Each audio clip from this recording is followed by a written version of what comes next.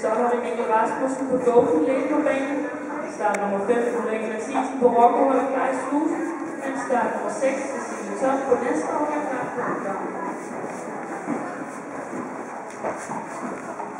Har du ham på kortet?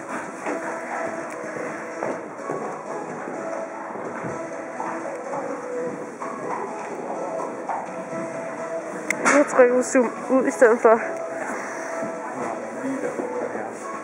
Ej, hvor er det irriterende.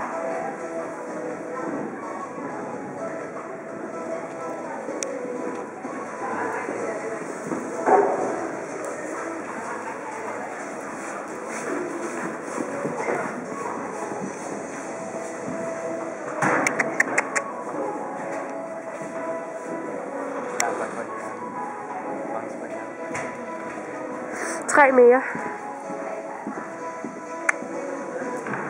Åh, Mikkel, det er godt.